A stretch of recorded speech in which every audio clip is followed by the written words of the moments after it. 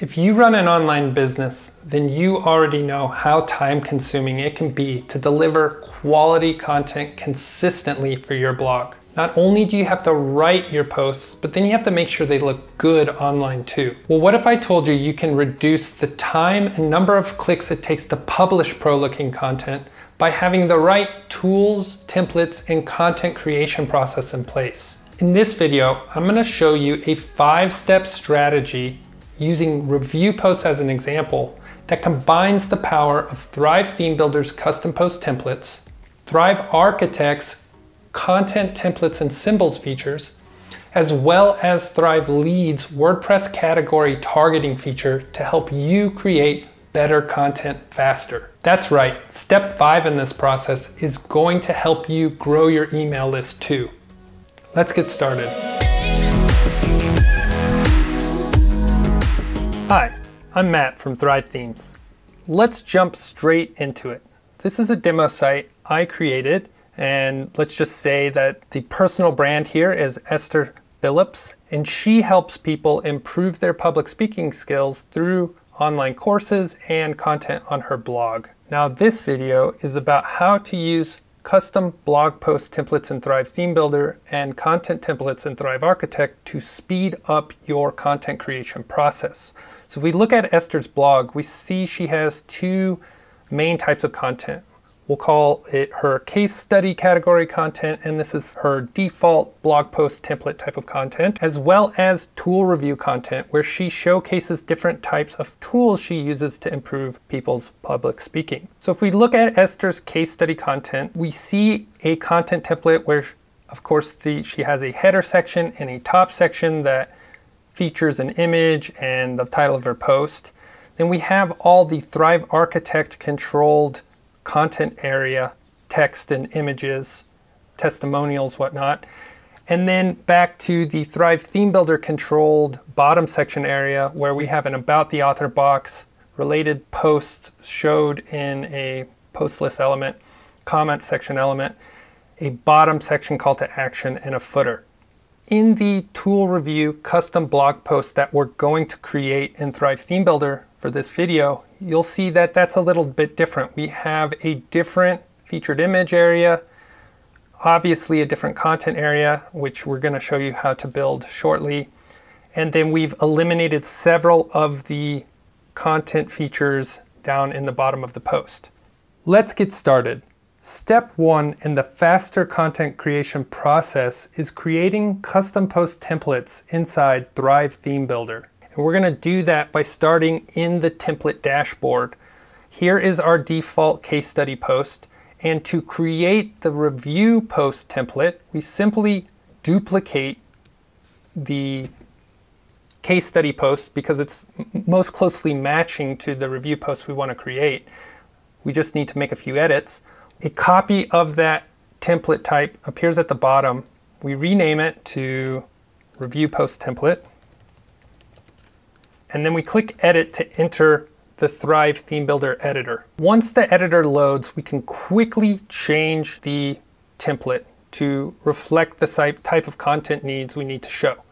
So of course we won't adjust the header section because we want that to be consistent across all of our blog post templates. But we can change things easily like the top section area by replacing the, the page banner template. We scroll through the many templates offered of the top section in Thrive Theme Builder. Select the one we like, and you can see in just a single click that entire top section area is modified. We'll scroll down to the bottom of the post template, and we can remove things like the About the Author box, the post list element if we want. We can leave the comment section, and we can even make the bottom section call to action. We can remove the visibility by toggling the button there and then say we're happy with that. That's the template we want for our review posts. We can click save and move on. You'll notice in the Thrive Theme Builder template dashboard that that review post template now is updated and ready to use for any of your new blog posts where you're going to review tools. So let's continue by adding a new post, giving the post a name, assigning it a category, which will be very important later on, and then assigning it a theme builder template type. So now our review post template appears, we'll select it, and we can save that draft post and launch Thrive Architect. Once the new post loads, it becomes very clear what Theme Builder is controlling and what Thrive Architect is controlling. Basically, everything outside of this post content area is Thrive Theme Builder, and everything inside the post content area is Thrive Architect.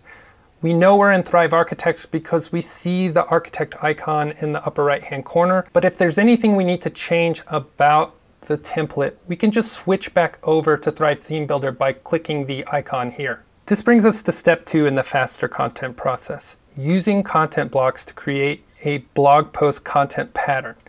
To begin, we're going to actually drop a content box onto the Thrive Editor window first. And we'll just modify the margins and paddings to be zero all around. Now we can start adding content block templates for our product review pattern. We'll filter for product review templates and then select an overview template. So with this particular template, we can showcase maybe multiple microphone products that we'll discuss in this post. And another very cool feature of content blocks is that if you click on the main options tab, you can one click change the accent color to match your branding or your particular custom post style. And you'll notice that that updates all the accent colors within the entire content block template. We'll continue by adding a few more content blocks to the parent box.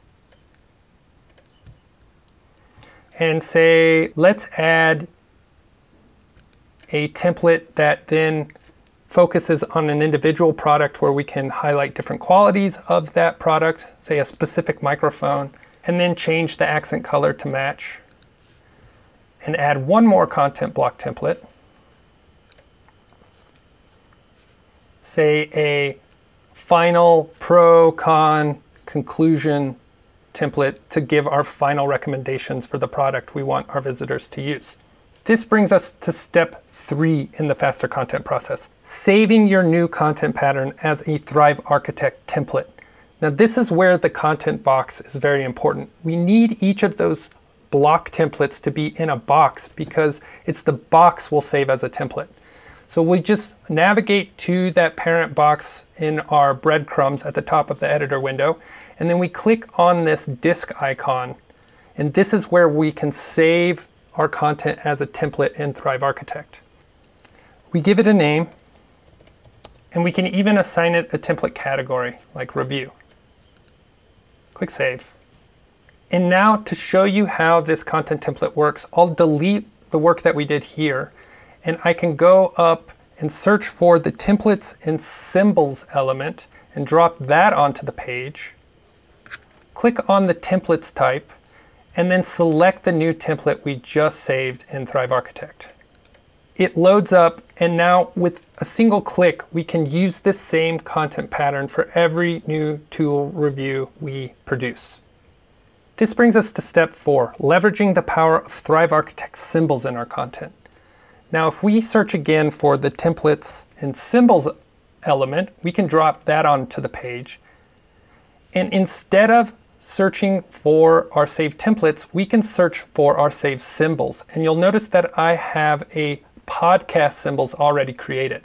Now the difference between templates and symbols in Thrive Architect is simple but profound. With a template, you can use it in multiple places on your website, but if you modify any one template, it only modifies that instance of the template. However, if you use a symbol across multiple locations of your website, if you modify any one of those symbols, all of them update together. So in this way, if you have a particular type of content that needs to be updated over time, like say links to subscribe to your podcast, or perhaps you decide to start hosting your podcast on a different platform and need to add another button to this type of content, you can make that change once and have it apply everywhere. If you're interested to learn more about Thrive Architect symbols, Check out the link in the description box below.